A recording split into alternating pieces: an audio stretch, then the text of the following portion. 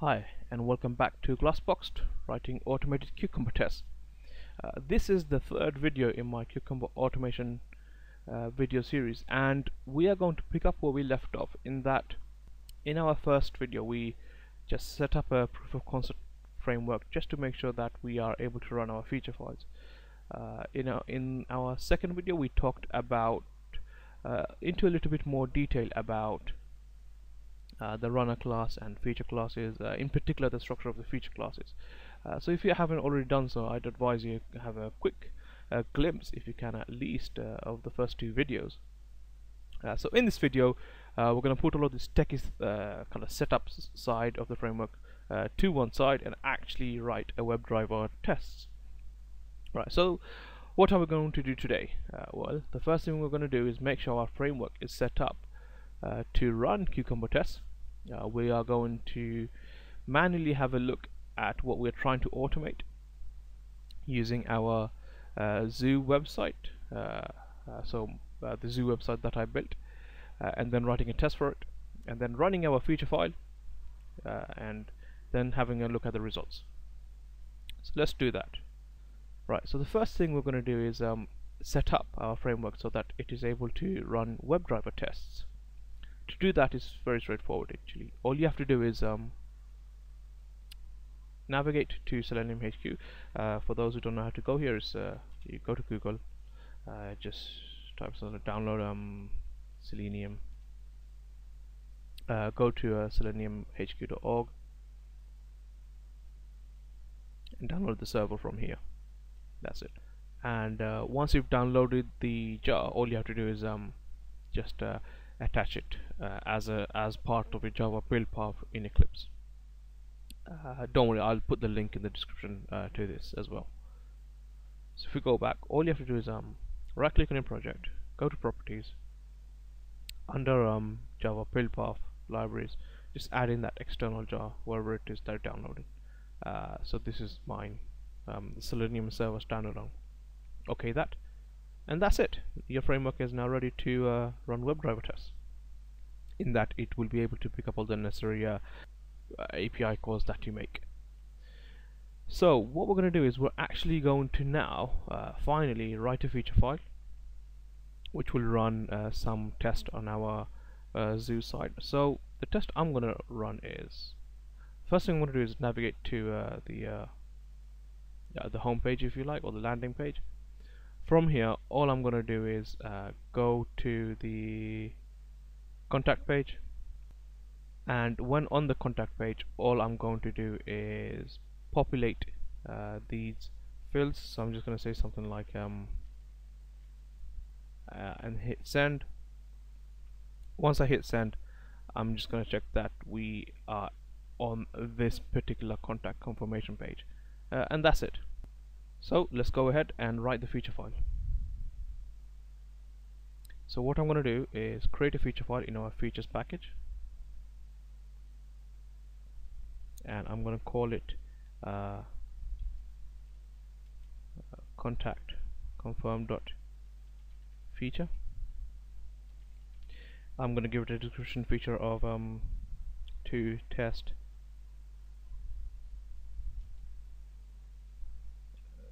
contact form works when there are no errors.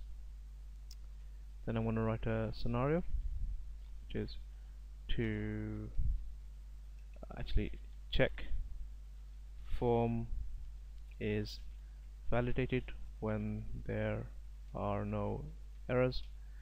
And I'm going to say given I am on my zoo website. When I click on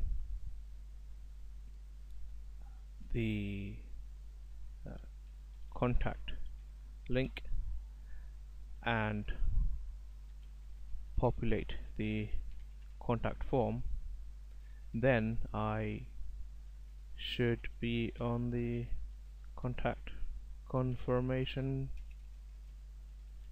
page. There you go. I'm just gonna uh, pretty format that. So it's a bit nicely indented. Save it. And I'm gonna run it.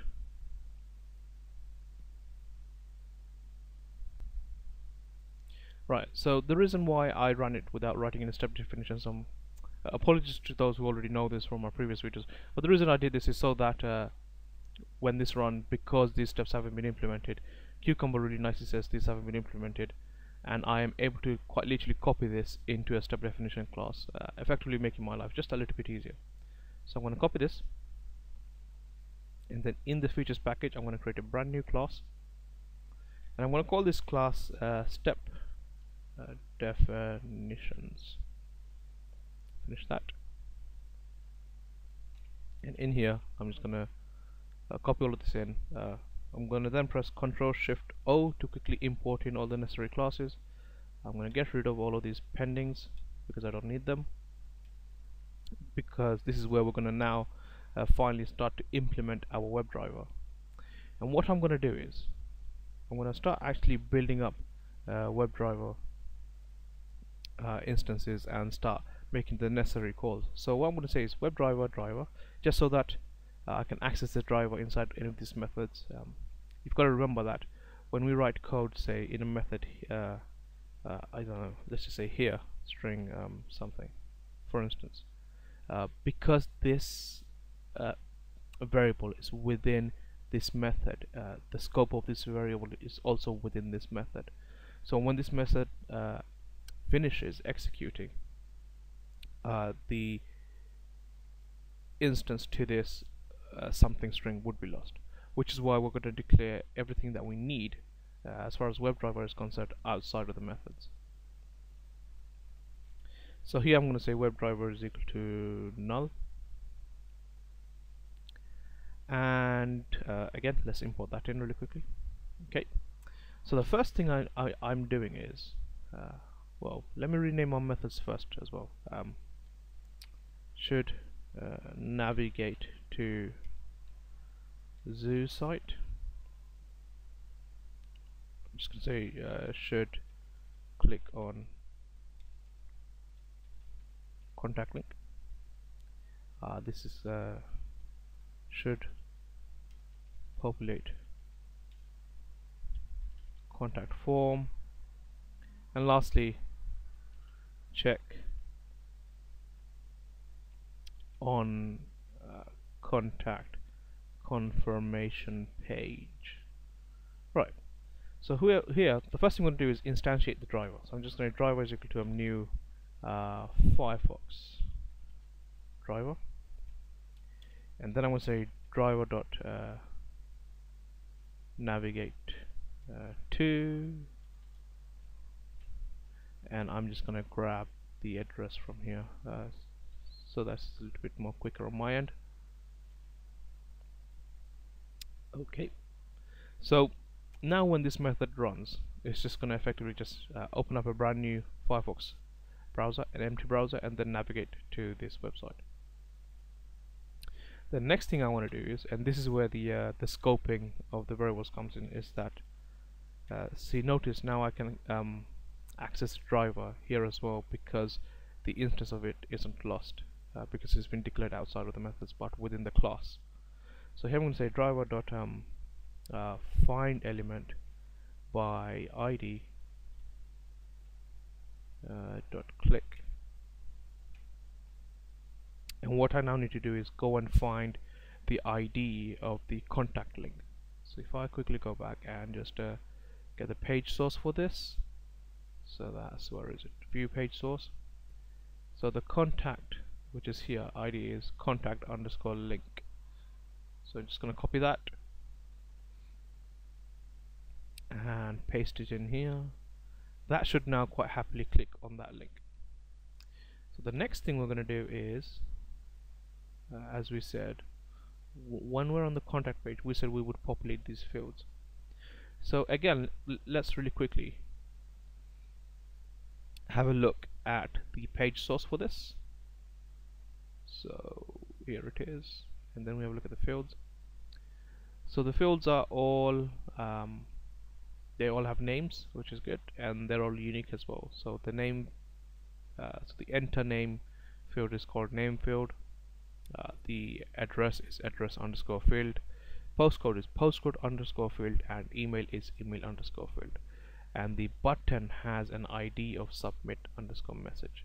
So we're going to need this information. So we're going to need one two three four uh, five so let's just do driver dot find element by uh, name. And we're just going to do a send keys of something. So we know we need this four times because there are four fields. Uh, two three four. The first one was called name underscore field. The oops, name underscore field. Sorry about that uh, then we had um, address underscore field. Then we had postcode underscore field. And finally email underscore field. And let's give it some meaningful data so we can uh, uh, just so that our test is a little bit more uh, meaningful. So in the name I'm just gonna say um uh, Jack Joe. Uh, I don't think anyone is actually called Jack Joe. Uh, address is um I, I don't know. Um happy land? Sorry about that. Uh, postcode is um, I don't know. Let's just say A1 um, S22 and email address is uh, I uh, will subscribe at to this dot channel. There you go. Uh, ah, uh, so and the last the the last thing we need to do to uh, complete the form population is to just uh, push the button which was um it had an ID so let's do that ID and we're just gonna click on it. And I think the ID was called um submit underscore message. Right perfect. So once we've populated the field so let me just quickly populate it. Send. Now all we want to do is confirm that we're on this page. So what we're going to do now is uh, we're going to do an assert so assert uh, assert uh, true.